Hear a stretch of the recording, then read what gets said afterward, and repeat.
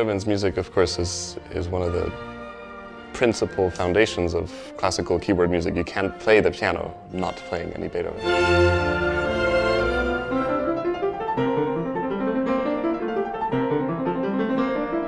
My journey with Beethoven's music started perhaps most concretely with the third piano concerto, which I remember playing um, from a young age and, and learning and, and I think it was a beautiful stepping stone from Mozart, from Mozart's D minor piano concerto in particular. It's, it's an extension. It's as if uh, Beethoven had taken that and moved it to another level.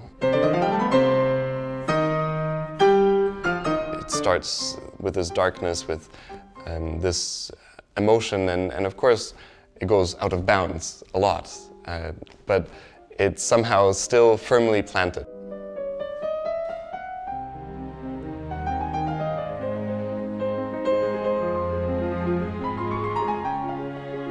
And of course, from there, I learned the fourth concerto, the fifth concerto, and the first and the second. And, and the journey has been incredible because, uh, of course, with every piece that you learn, you end up having memories. You end up remembering certain performances. With the fourth piano concerto, I performed it with uh, Maestro Claudio Abbado, an incredible privilege and something that I will retain close to my heart for the rest of my life.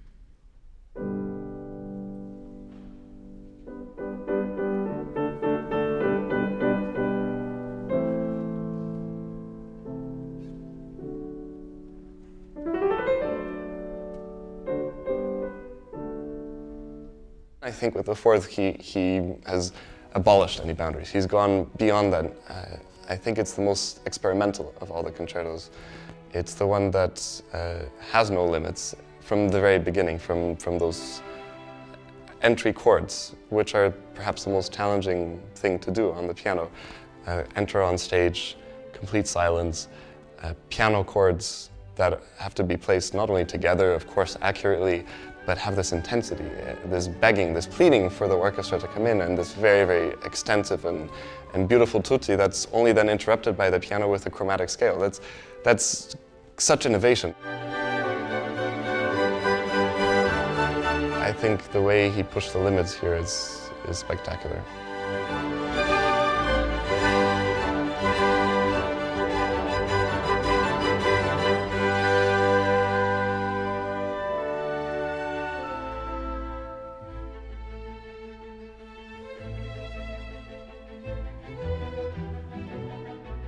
And then the fifth, in many ways, it's more assured. I wouldn't say it's, it's back to a classical style, but it's as if Beethoven found himself and said, yes, this is who I am, I know what I'm writing, I know what I'm doing, and I'm just presenting it to you. This confidence um, is incredible in the fifth, and the, the glory of it. It really is glorious, and, and I, I love playing each movement of it, of course.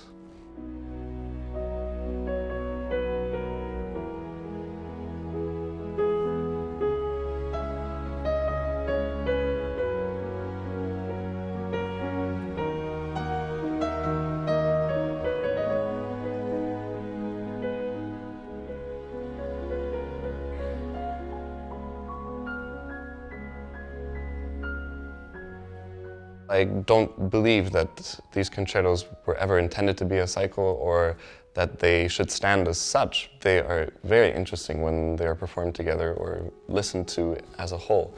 Because, of course, we, we hear Beethoven's journey, but uh, without actually planting them ever in the order of, okay, let's do it chronologically from, from the second to the first to the third to the fourth to the fifth, to put them together. They complement each other on the program.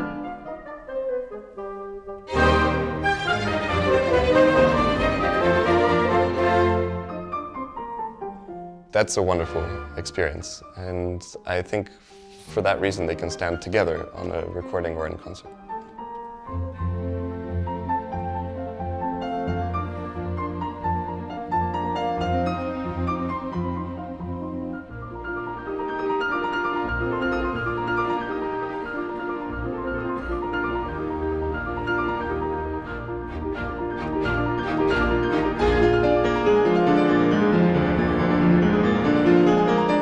It's wonderful to work with an ensemble such as the Academy of St. Martin in the Fields who, who have this um, energy that they're able to maintain from beginning to end. And perhaps that sounds overly simplistic, but the, one of the biggest challenges when, when you're making music is, is to lose sight of the overall flow of something, and especially where here we don't have a conductor who's taking care of that, where we don't have um, this, this um, rigor instilled upon us, but we all have to maintain it within us and, and be in, in that we begin and we end and we have an idea between that.